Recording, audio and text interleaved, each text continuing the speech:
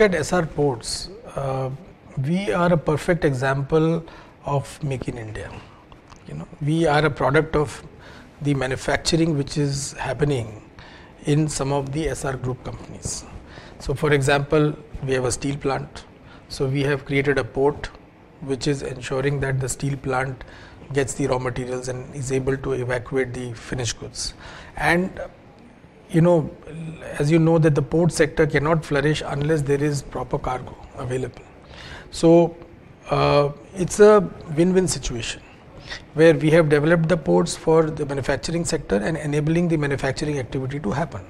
Same is the case in Vadinar where the refinery is there or at Salaya where the port, uh, the power plant is there or even say at Paradeep where one of our um, steel plant is there. So, you know uh, this goes hand in hand because ports is a service sector it has to enable manufacturing. So, for manufacturing to happen it is necessary that proper infrastructure gets created. Now traditionally if you look at India, you know infrastructure has been very poor and the private manufacturing companies when they are setting up any manufacturing facilities, they have to create the entire infrastructure. They have to create roads, they have to build you know uh, power plants, they have to build ports. So what we would expect from the government is that quick approvals are available for captive from captive and there has to be a proper captive port policy. Somehow this has never seen the light of the day and it has somehow got completely missed out because it has to be something like in the power sector where you can create a captive power uh, uh power plant and then surplus capacity can be given to the grid. Same should happen here where you know a captive port can be developed and then balance capacity should be able to be used for third party users. Then only you will have really world class facilities coming up where proper dredging is there, where you know uh, proper mechanization, interconnectivity, everything is present because it's all about scale.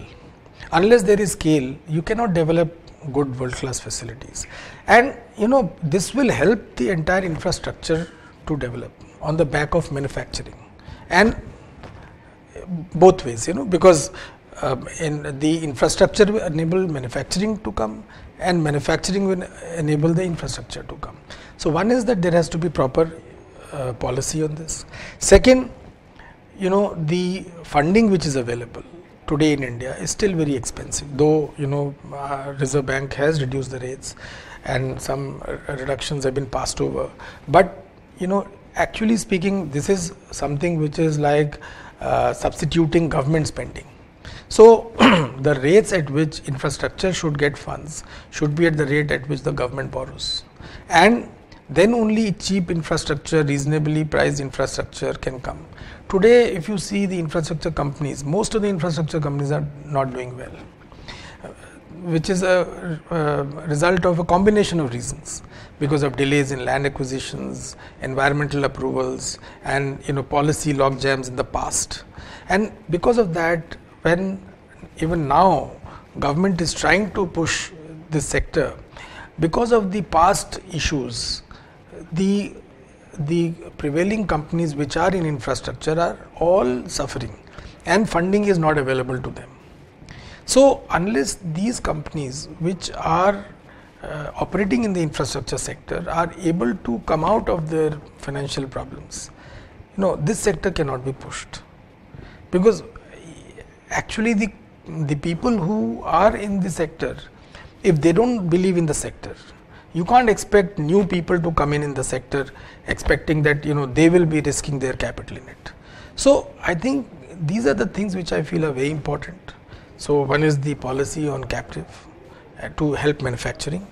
Second is you know uh, availability of uh, cheap finance, uh, which is in line with say even say priority sector or you know lending at the rates where the government is also getting funds. Uh, one thing which the government has done very good is the 5 by 25 financing scheme, which enables long term funding to these projects. So, that is really commendable. And the uh, third thing is that how the, the existing infrastructure companies can sort out their issues quickly and you know they can start uh, you know in reinvesting new money in the business. So these are the things which I feel are going to be very important.